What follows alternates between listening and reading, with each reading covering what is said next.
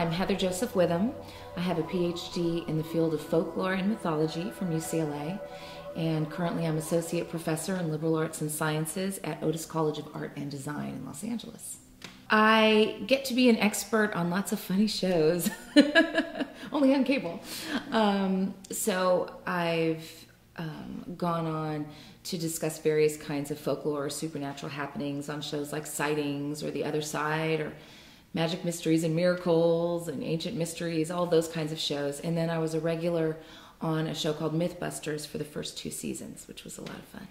At Otis College, I teach a class called Modern Mysticism in the Afterlife, which is a great class, um, which talks about, you know, the movement of New Age and modern mysticism based in um, the spiritualism of the Victorian era through the present. Um, and we also partner with a cemetery, the Hollywood Forever Cemetery, who has this extraordinary Day of the Dead celebration. Um, so, through the research I did for the class about the history of um, perspectives on the afterlife, um, as well as seeing the ways people are seeking to welcome their deceased through these Day of the Dead altars that they make at this Hollywood Forever Cemetery, um, I thought it would be engaging to um, combine those two things and really write about how we seek to contact the deceased now, what it means, how can I analyze this, how does this function for people, why do we choose these methods. Okay, so right now I'm doing the groundwork and the research for what I hope will be an eventual book, either called Afterlife Junkies or A Guide to the Afterlife. I'm not quite sure yet, it depends how all of my research comes out. But the book itself is meant to be a look at the customs and traditions that we have for contacting beings in the afterlife. It's a core question for most people in life. Do we go on after we die? What happens after we die? And part of the way we formulate our opinion is based on our experiences and the customs and the things that we do um, to contact those in the afterlife. So, did we have news about the afterlife from someone who died or someone we knew who died or from an apparition we, we don't know? Um, so that's what I'm studying right now. The way I'm conducting my research is that every single thing that I'm researching is based in what I call field work. Um, anthropologists and folklorists, the, both fields are grounded in the concept of field work that you go out, you talk to people, and you get original data and then you back it up with good solid research and analysis.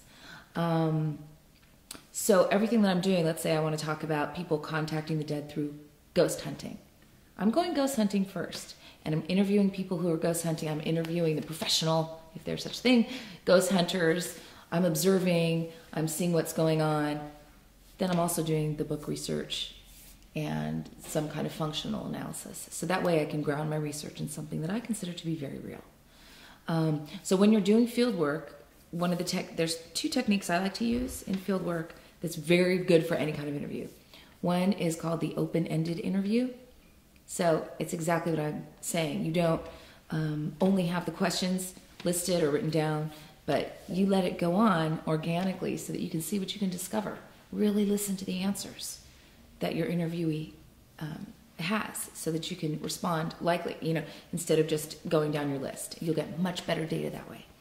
The other thing I use is um, called participant observation. You need the interview and you need the participant observation. So fieldwork for me is like an essential part of my research. But all of my work is qualitative. I want to find out what makes people tick, why people believe what they do. Not just that they believe, but why they believe how they believe, and more importantly, how it functions for them. And I can only get to that through fieldwork, not through a survey. So a survey might be a good place to start. Now use other people's surveys, sure. Oh, this percent believe in God, or this percent believe in, you know, ghosts, which is a big percent. But that doesn't get me anywhere for my form of analysis at all. Now people are deliberately going out and seeking ghosts using technology, not just their eyes. They're using recorders to try to capture EVPs electronic voice phenomena, electronic. Um, they're using EMFs to try to get some kind of magnetic something. Um, they're using digital temperature gauges in order to see if the temperature goes down because the ghost sucked the energy out of the air in that area.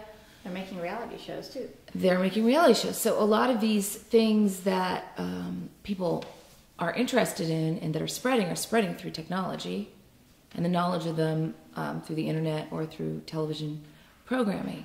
A lot of people in the present um, look at is it real or is it fraud?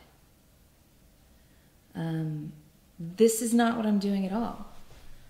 Um, you know, when I go to a mediumship session and I see the way it's transforming people and changing their perspectives and sometimes changing their behavior, what I'm interested in is how seeing the medium and getting the contact they got functions for them. You're you're not just writing anymore. You've got to keep in mind that people are reading or accessing the information in a different way.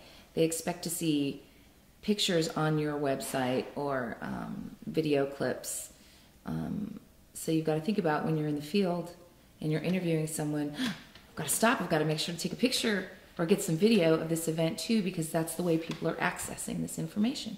And of course they should. They have, I'm used to looking at videos too, um, and I want to see something in action. Um, so maybe it's another step you have to take when you're doing your research now, I think. And you almost have to write in a different way um, in order to make that other content look organic. Right. I always, you know, with my students, when I send them out to do field work, I always have them make sure that they, you know, sort of come up with a plan. Um, first, plan what they're doing and do some research during that time so when they go in the field, they know something. So, that would be the first part of field research, would be the planning. The second would be the collecting in and of itself. So when you're collecting, make sure you have all your equipment. Make sure you have backups for your equipment. Make sure you have extra batteries. Make sure you have everything plus. Um, and if you're uncomfortable with an open-ended technique, yeah, I guess you do need a list of questions. It just depends, you know, um, what you're doing.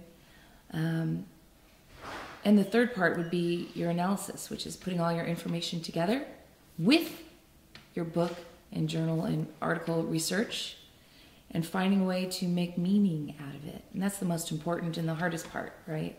Is trying to say, you know, I think this means this, and this is why. This is how this thing, this custom, this tradition, this activity functions for the people involved. This is what it means. Funding's always a thorny issue.